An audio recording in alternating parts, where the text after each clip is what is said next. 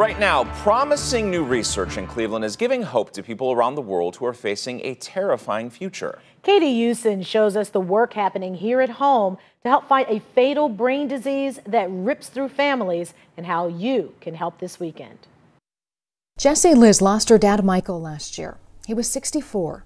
More painful, she says, was watching him die for more than a decade from Huntington's disease. It's so scary to watch somebody that is so perfect, you know, your whole life just deteriorate to nothing, you know, to deteriorate to somebody that's not able to walk, talk, think, or, or even reason.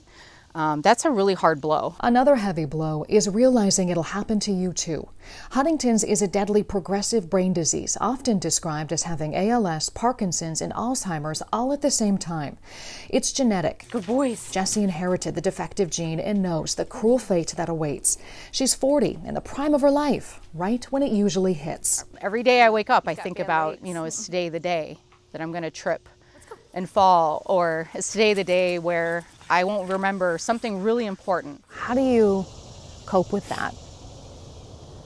That's yeah, so it is a lot. Um, I think, you know, I'm one of those people that isn't going to stop until I until I can save others and save my family. Right now, there is no treatment to prevent or slow Huntington's disease, but that could change thanks to new research happening right here at Case Western Reserve University. It really surprised us when we saw the data. Dr. Xin Qi and her team just discovered a potential breakthrough in how to prevent and slow the neuron degeneration that causes Huntington's.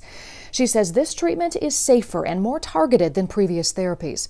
It's early, she cautions, and more research and clinical trials are still needed. If our uh, strategy actually uh, demonstrated to be useful and really safe to patient and we can actually go that way. I will say best of luck and within five years we may, may, may make some breakthrough. With an estimated 41,000 symptomatic Americans and 200,000 at risk of inheriting Huntington's, the findings offer hope that families like Jesse's are desperate for. It's not fair that a fatal brain diagnosis